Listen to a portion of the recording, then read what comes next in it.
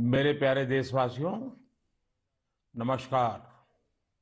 आज 27 दिसंबर है।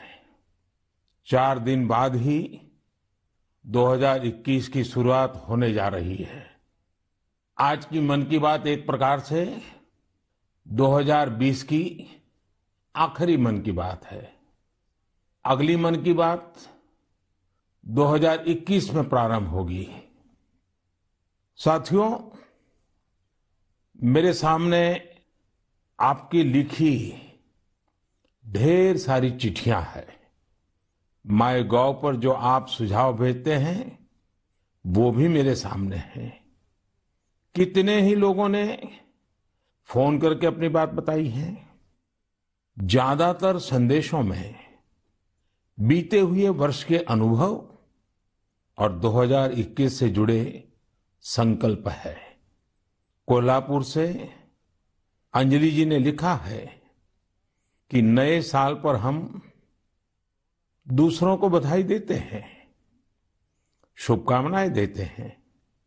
तो इस बार हम एक नया काम करें। क्यों न हम अपने देश को बधाई दें, देश को भी शुभकामनाएँ दें। अंजलि जी, वाकई बहुत ही अच्छा विचार है।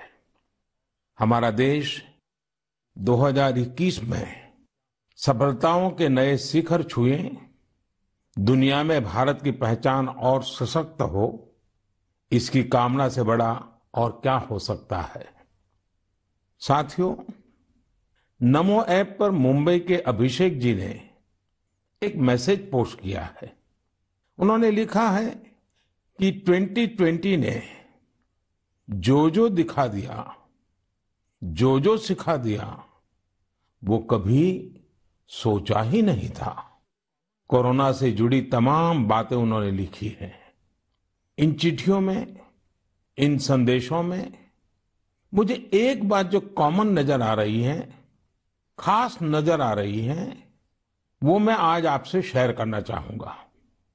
अधिकतर पत्रों में लोगों ने देश के सामर्थ्य, देशवासियों की सामूहिक शक्ति की भरपूर प्रशंसा की है।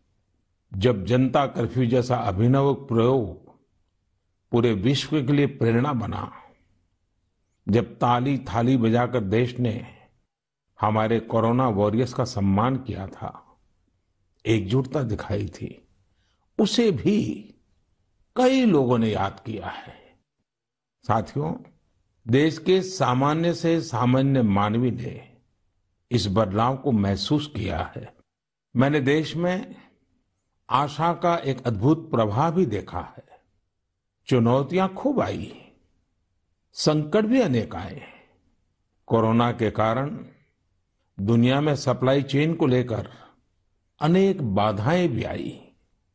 लेकिन हमने हर संकट से नए सबक लिए देश का नया सामर्थ्य भी पैदा हुआ। अगर शब्दों में कहना है तो इस सामर्थ्य का नाम है आत्मनिर्भरता।